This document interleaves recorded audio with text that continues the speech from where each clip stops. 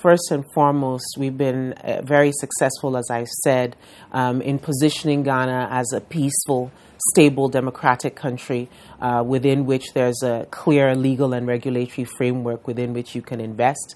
Uh, historically, from a political perspective, we've transitioned from one political dispensation to another.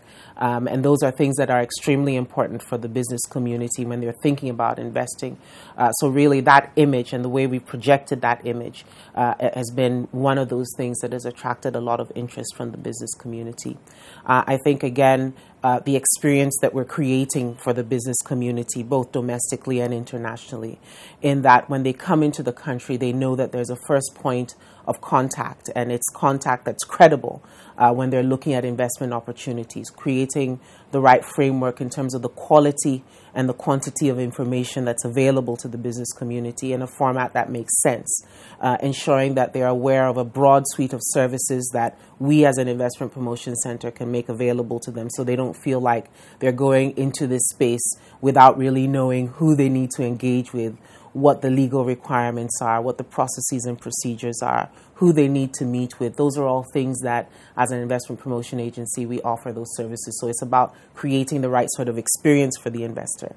And I think finally, it's about the kinds of results that we're able to deliver.